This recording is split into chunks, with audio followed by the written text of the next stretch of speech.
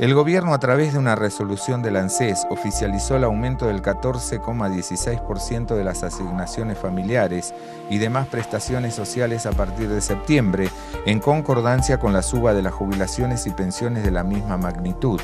La ley de movilidad que está vigente establece que dos veces por año, en marzo y septiembre, se deben ajustar en el mismo porcentaje las prestaciones que paga la ANSES y el sueldo mínimo y máximo sobre el que se efectúan los aportes previsionales de los trabajadores activos.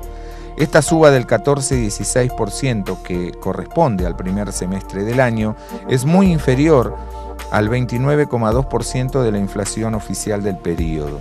Eso se debe a que la ley de movilidad se calcula por mitades según la evolución de los salarios y de la recaudación impositiva. Y ambos indicadores aumentaron mucho menos que los precios, en especial los ingresos tributarios por la reducción de impuestos sobre determinadas actividades.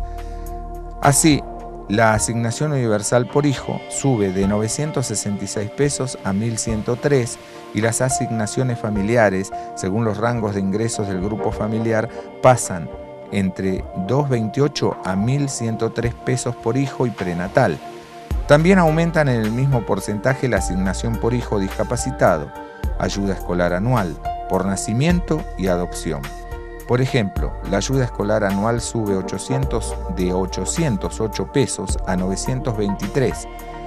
El sistema tiene además valores distintos, más altos para ciertas regiones del país por ser consideradas zonas desfavorables.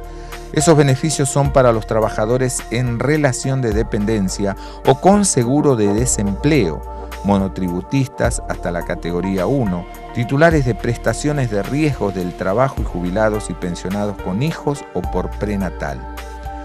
Y hasta un tope de 60 mil pesos de ingresos totales por grupo familiar.